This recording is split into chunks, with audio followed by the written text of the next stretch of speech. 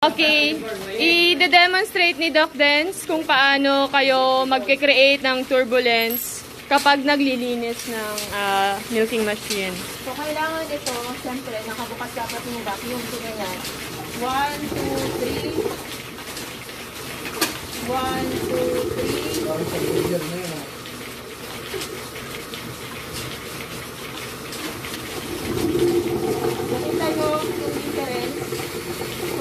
Nakaganyan, hindi masyado yung galaw sa loob. Kasi walang hangin na pumapasok.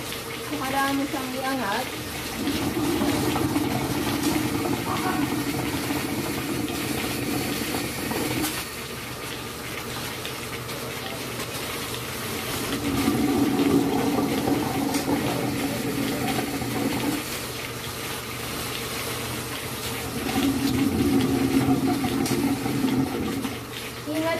Kailangan sigurado tayo na ang capacity ng uh, timba ng bilis bucket ay mas malaki kaysa dito.